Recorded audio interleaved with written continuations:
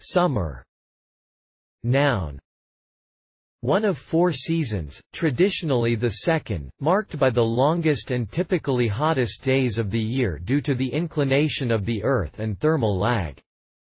Typically regarded as being from June 21 to September 22 or 23 in parts of the USA, the months of June, July and August in the United Kingdom and the months of December, January and February in the Southern Hemisphere. Summer Verb To spend the summer, as in a particular place on holiday. We like to summer in the Mediterranean. Summer Noun A horizontal beam supporting a building. Summer Noun A person who sums. Reference